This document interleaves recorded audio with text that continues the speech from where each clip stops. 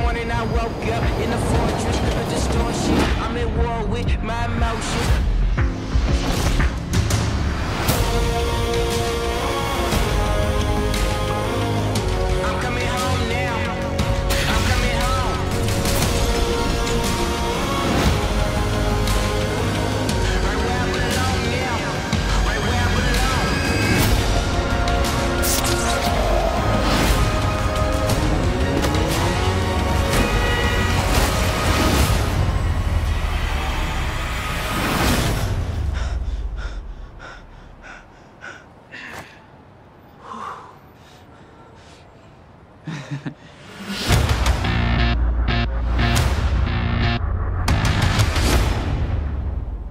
Wait, so how many of us are there?